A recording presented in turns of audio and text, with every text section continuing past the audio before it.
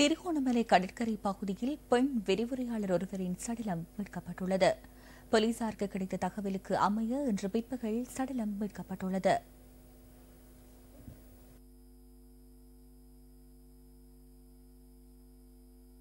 கிழக்கு பல்கலைக்கழகத்தில் கடமையாற்றும் வவுனியா ஆசைக்குளம் கட்குளம் பகுதியைச் சேர்ந்த இருபத்தொன்பது வயதான நடராசா போதநாயகி என்ற பெண் விரிவுரையாளரின் சடலமே இவ்வாறு மீட்கப்பட்டுள்ளதாக போலீசார் தெரிவித்தனர்.